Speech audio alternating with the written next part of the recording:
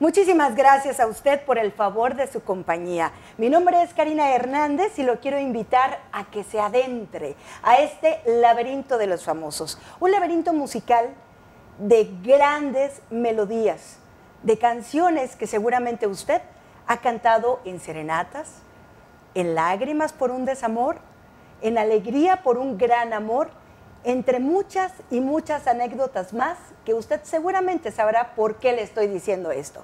Quiero presentarle al hijo del maestro Álvaro Carrillo, que el día de hoy me hace el honor de acompañarme en este laberinto de los famosos. Maestro, ¿cómo estás? Ay, muchas gracias. Muy agradecido y honrado de estar contigo, Karina, y que me des la oportunidad de esta enorme y gran ventana al público? Para mí de conocerte, porque yo sé que tú también compones, yo sé que tú también cantas, yo sé que a ti también te gusta esto del mundo del espectáculo y aparte qué vena musical, caramba, tienes en tu cuerpo. Ay, muchas gracias. Sí, em, soy hijo, para que los que no saben, soy hijo de un compositor de talla internacional que es mexicano, se, llama, se llamó Álvaro Carrillo Alarcón, eh, murió hace casi 50 años ¿Cómo crees? y su música sigue vigente.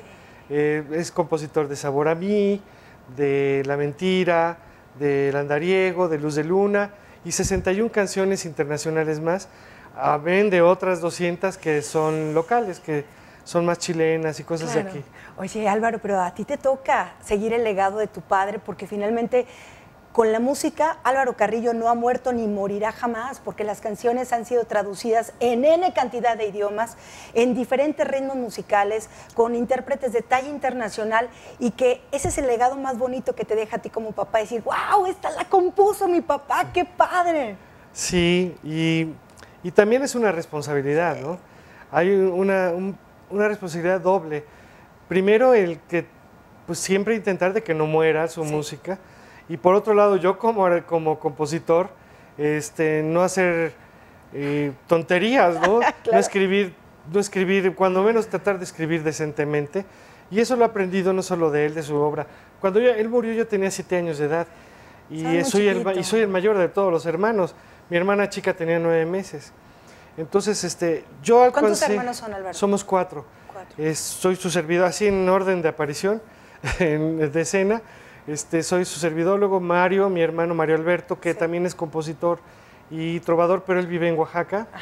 Y luego sigue Mari, Ena, Ena Marisa, que le pusieron Ena porque es mi, papá estudió en Chapingo, en la Escuela Nacional de Agricultura, que en ese, ahora ya es universidad.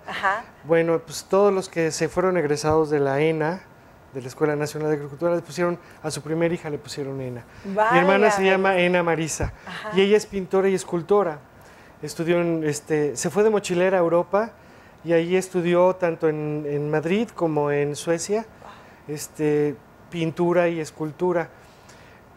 Como buenos artistas eh, plásticos. ¿Y el, chiquito? La chiquita. Ah, es Gina, Gina Georgina. Ella no es artista, ella es la que nos... La del dinero. Exactamente. la de la, es la de, la lana, sí.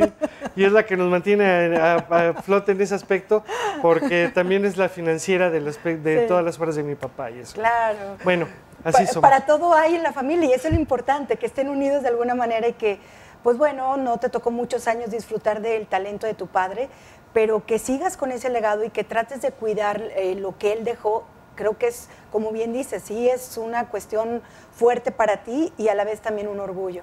Sí, es un orgullo, un compromiso. Te digo también como escritor, bueno, como pues compositor, este, también fijarse en lo que uno hace, ¿no?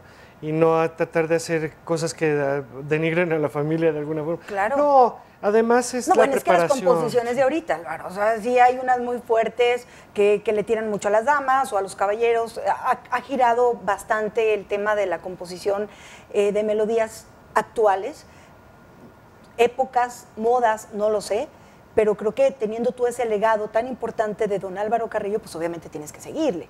Sí, y además darme cuenta que, por ejemplo, yo soy también profesor, he sido profesor universitario en, en Morelos, fui de los profesores que iniciaron la escuela de música de La Salle allá. Yo nunca fui lasallista, pero fíjate, me tocó trabajar en La Salle para, para hacer la escuela, primera escuela de música lasallista allá.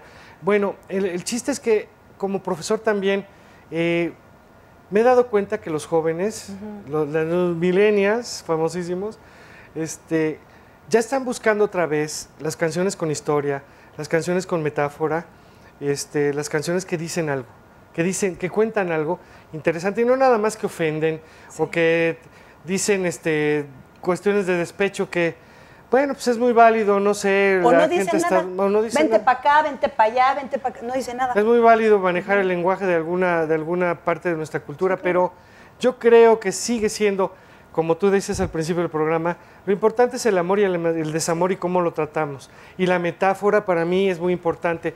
Por eso es que todavía sigo como cantautor, más bien como intérprete, sigo difundiendo el bolero